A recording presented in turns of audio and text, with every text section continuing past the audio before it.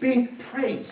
It's the praise that calls heaven to open and the power of God to come down. It's the praise that calls God to start moving on our behalf. Sometimes don't pray through it, which prayer is always good. Don't fight through it.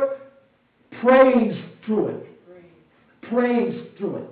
Amen. Find a song, find a scripture. Just open up your mouth and begin to adore Him and give Him praise because we've got to learn how to praise through this. This is one of those situations that we can't always open up a book. You can't find the five tape, uh, the five, the five points in a poem. You can't find the three tape series. It's about opening up our mouth and giving God that sacrifice of a praise. Amen. Can I hear somebody just say, "Thank you, Lord"? Thank you, Lord. I'll say it like you mean it. Thank you, Lord. Thank you, Lord. Is He worthy to be praised? Yes. That's why it's a sacrifice.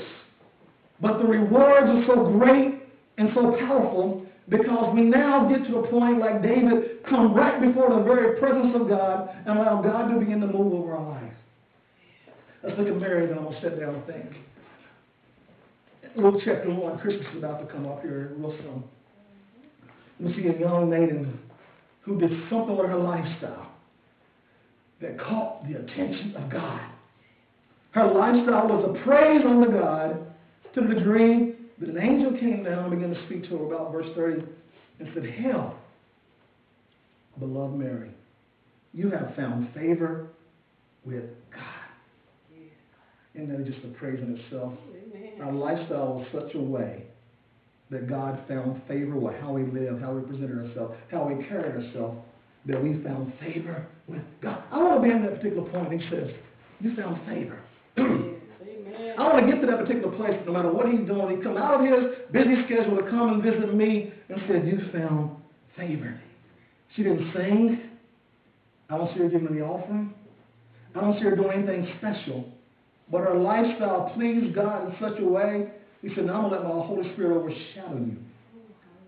Overshadow you. Now think about that for a moment, basking in the power and the presence of the Holy Spirit to the degree that His Spirit overshadows us. He overshadows us. And if we look at the word correctly, He should be overshadowing us every day. Because every step that we should be moving and walking in should be filled by the Holy Spirit. Everything that we do should be directed by the Holy Spirit. The Holy Spirit is that catalyst that gives us power here on earth.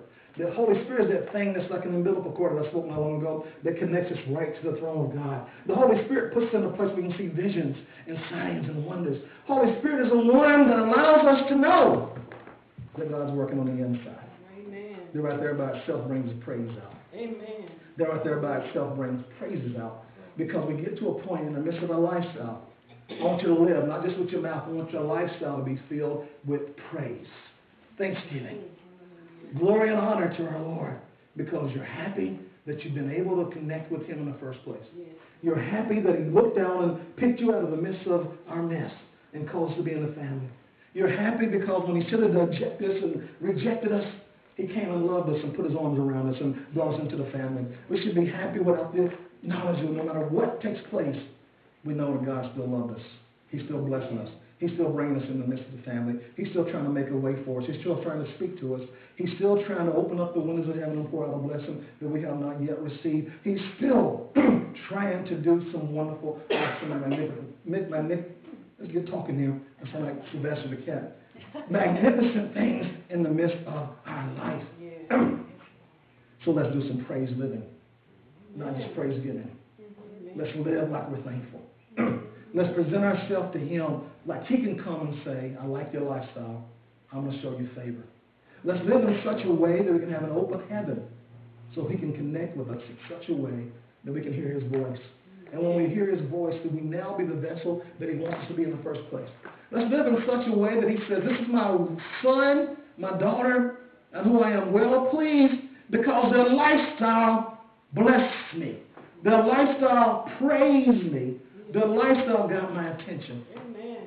And I'm always looking to get the attention of God on a regular basis. So one last time, let's give him a great, wonderful, and awesome praise. Go ahead and lift up your voice and give him some praise. Hallelujah. Oh, come on, can praise the Lord now. You bless him. Brother he is worthy, worthy of all praise. Worthy of all praise. So we go before the throne of God today, we're going to go before him with our praise, our lifestyle, our heart, our mind, the way that we present ourselves is going to be a praise unto God. I just hear a little bit of song, you know, I can't sing this thing, so um, let me get of help, and I know Manny will join in. It says, Come, let us adore him. Come, let us adore him. Come, let us adore him. What's his name? Christ. I know, I know it's a Christmas song, but we're going to sing it today. Just this part right there. Oh, come, let us adore him.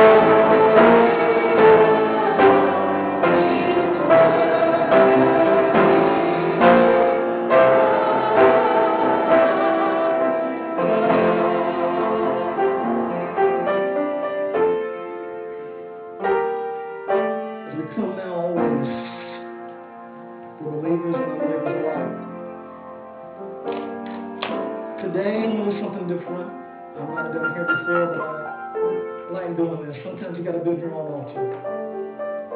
Sometimes you gotta go to God for yourself. Sometimes you gotta cry out to Him and tell Him what you need. And you gotta give Him your own praise, your own unique way. So wherever you are right now, I want you to put your hand on your heart and start building your own altar. You come to God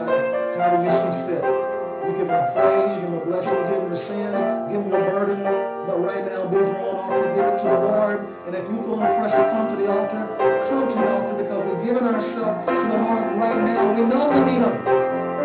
We know we can't live without him. We know we get the fog over our head out the way and cause sunshine to come in and come down. Allow us to live in such a way that we can feel his presence on a regular basis. Father, cleanse us heal us, fix us, strengthen us. Allow us to be a part of your spirit. And Father, as we move in the midst of the presence with you, change us, Father. Change our heart, change our mind, change our the way that we carry ourselves, the way that we have been. Change us, Father, in the name of Jesus. Allow us to look at our blessings. Allow us to live in such a way that you be thankful for the lifestyle that we give to you. Father, we ask your power to come down on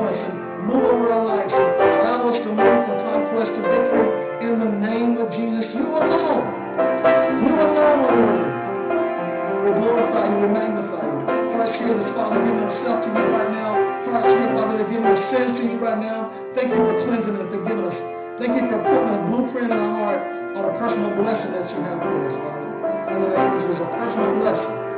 A personal blessing, Father. We thank you for the blueprint that you got for us to establish us to live a life in such a way that you can find favor with this life. And allow us to be established before you in truth, honor, and glory in the name of Jesus. For you alone are worthy. praise, thank you.